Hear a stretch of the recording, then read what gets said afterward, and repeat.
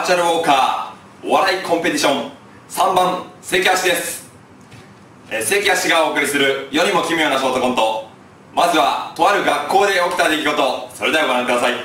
デレレレレンデレレレレンデレレレレテンデレレレレン。おい聞いたかよ。今日から新しい先生来るんだってよ。何でも先生になったばっかりの新米教師だって。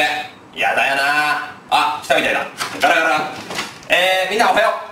今日からこのクラスを受け持つことになった新米教師の米つぼだみんなよろしく。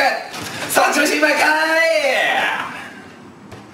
あやべえ。おいおいなんだ？こんなもんがこれ持ってきてんのか？え？なんだこれおいえ？これ先生が募集だ。ああ新米教師が赤飯教師になった。テルテルテテルテルテテルテルテテルテルテテルテルテどうもありがとうございました。でこは狭いけど心は広い関足です。えー、まあ、関足知らない人もいると思うんで今日はですねこの髪型だけでも覚えてください。はい。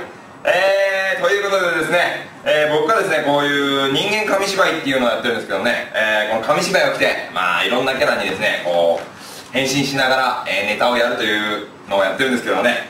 えー、まあこれ以上見せられません。えー、気になった方はですねぜひ動画の方を見てください、えー、遠い方の方よろしくお願いします。